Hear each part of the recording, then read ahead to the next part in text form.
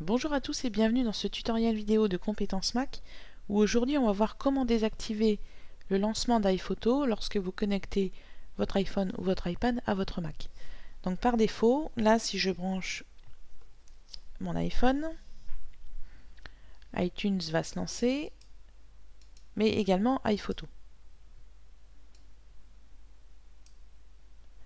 Grâce au flux de photos qu'on utilise aujourd'hui, on a quasiment plus besoin de lancer iPhoto à chaque connexion. Une fois par mois, ça suffit pour récupérer les photos du mois.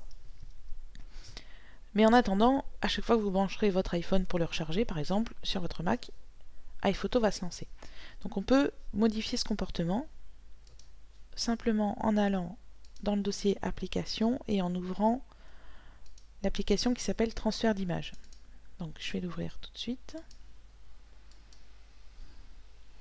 Ici, vous avez les appareils qui sont connectés à votre Mac et qui gèrent plus ou moins euh, des photos ou des images, un scanner, etc.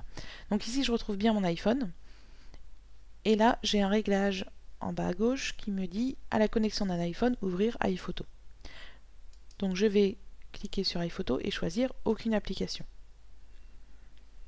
Si vous ne connaissez pas transfert d'image, sachez que cette application permet également de vider les photos que vous avez déjà importés euh, dans votre dans iPhoto et qui n'ont pas été supprimés. Il suffit de les sélectionner et de cliquer sur le bouton rouge ici pour les supprimer.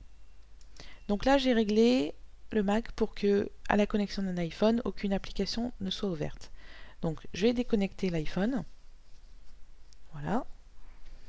Je vais quitter transfert d'image je vais le relancer, donc logiquement il y a juste iTunes qui va s'ouvrir.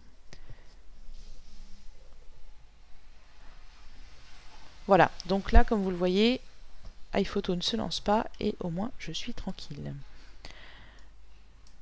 Voilà, c'était une petite astuce, donc pensez bien à l'application transfert d'image qui se trouve dans votre dossier application. Elle est là pour ça, donc n'hésitez pas à l'utiliser. Voilà, je vous souhaite une bonne continuation sur votre Mac.